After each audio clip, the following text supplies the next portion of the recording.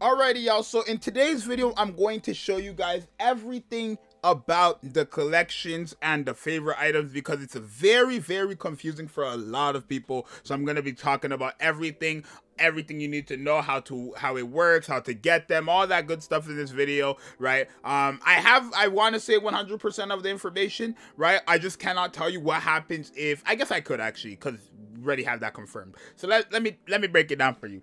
So obviously when you open up the game, the first thing you want to do is go to your little missions here, right? If you go to your missions, there is going to be a mission. I already claimed it, but there's going to be a mission for anybody who has passed chapter 6 um 4, right? Chapter 6 stage 4. If you pass that, there's going to be a mission there that you can claim for your treasure. I'm going to call it treasures cuz that's what they were called before, but your favorite item treasures, yeah, yeah, yeah you get those materials there. So if you go into your item box and you actually go to your materials, you will get these. You get 10 elite, you know, maintenance kits, uh, 20 intermediate maintenance kits, and then be, uh, 50 beginner maintenance kits. And then you will actually get a box in your consume three of them where you would open it and then you would get three collection items. Now, thing the collection items are the items that actually go on your regular Nikkes do, that do not have treasures, right? So there is a collection item for each type of Nikke, right? You cannot just put any collection item on a Nikke. There is a specific one for each individual Nikke. So if I go to Laplace, for example,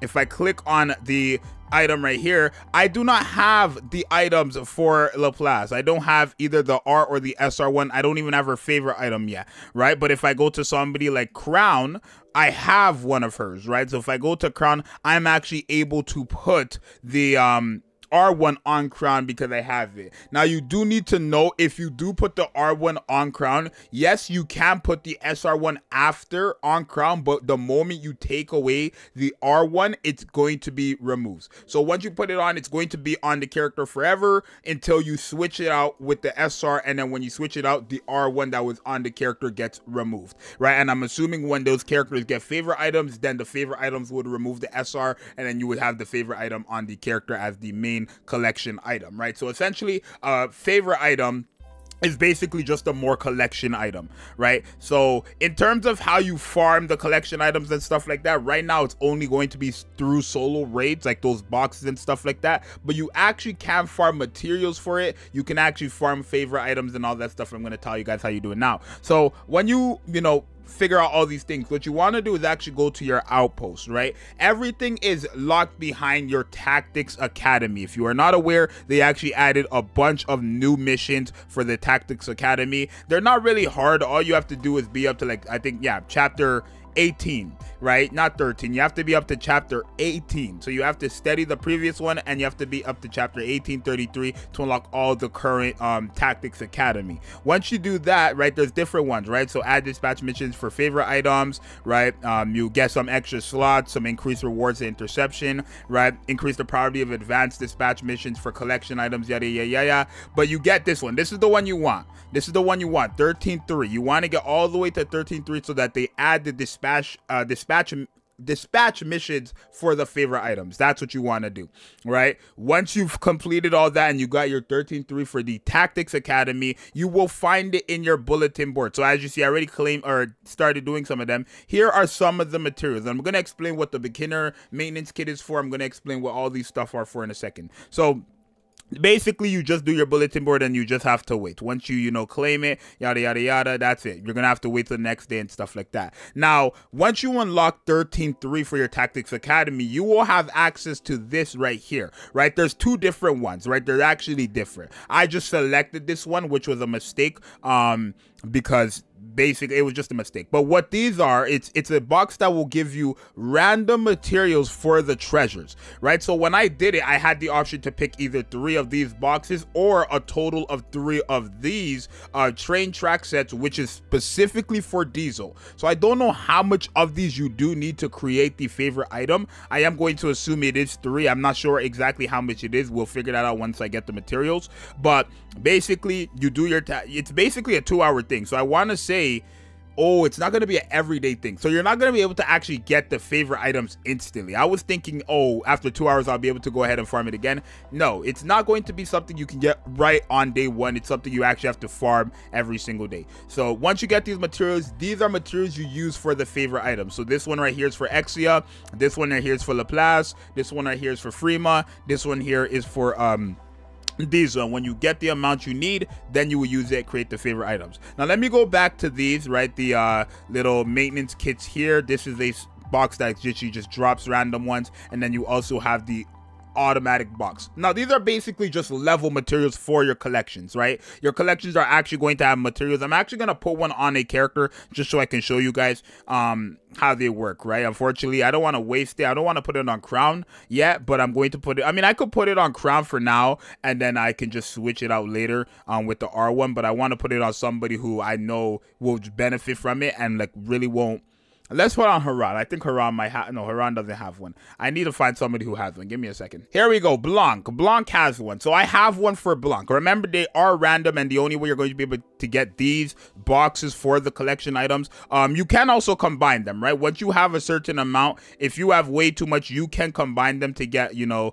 um, either the SR ones or it's just the SR ones or the actual upgrade materials itself. But I'm going to put one on um Blanc here to show you guys. So they do have effects, right? So when Blanc gets this, she's gonna have her defense increased by 25%, and then damage done when attacking the core is gonna be increased by 5%, right? So I would probably want to put that on somebody else, not Blanc actually. Let me figure out who I want to put that on. Here, so this one is for the maid soda. This one is for the maid soda right here, the new character. We could put one on her, right? Sure. So this one, again, they're all different. This one now normal attack damage multiplier increase. So they're different for each weapon, right? This is a shotgun based one. These ones I have to own it to show you guys what they do. I mean, I can show you guys later um, because there is a Nikkeipedia for these, but I'm going to use it. Um, it says when you equip the collection item, it will belong to the Nikke permanently. It won't um, but it will. So this R1 right here is going to be on the character forever until I change it with the, uh, so it's going to give you guys this. If you guys want to read all this stuff, already know how this works, so I'm going to skip it, right? But you can change it for a higher rarity. So it is on the character permanently,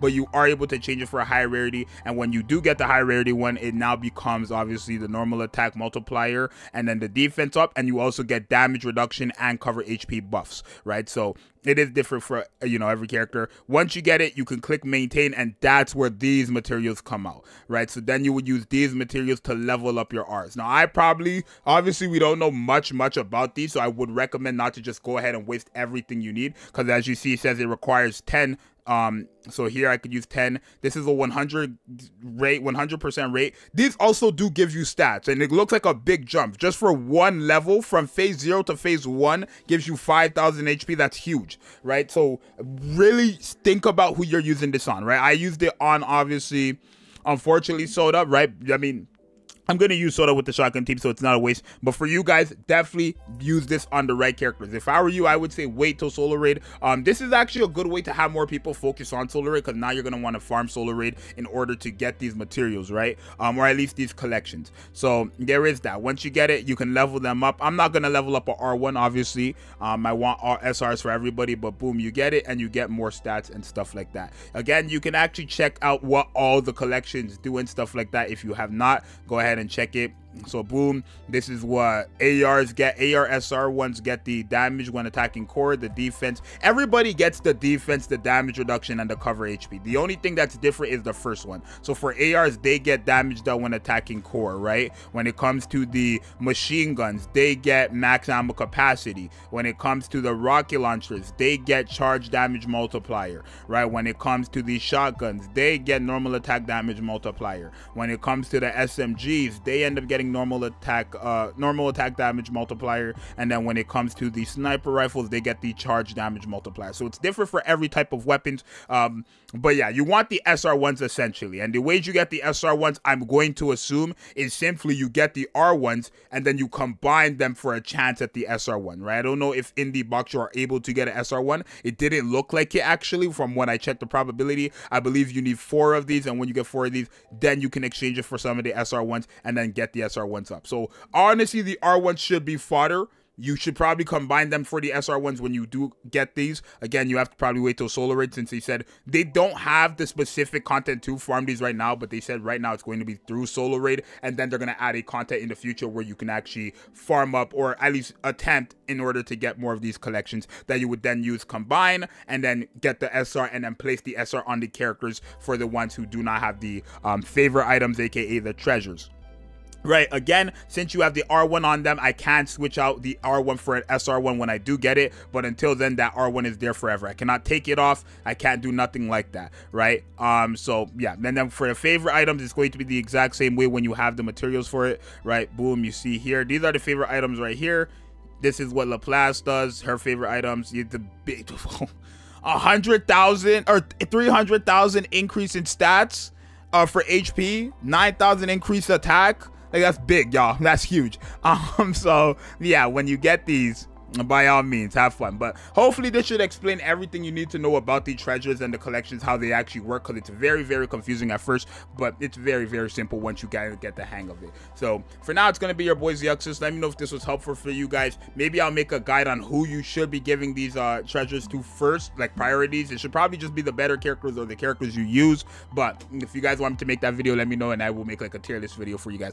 Um it's going to be your boys Yuxus. thank you guys for watching. If you enjoyed the video like and subscribe. It helps out a lot. And I'll see you guys in the next one. I'm out. Peace.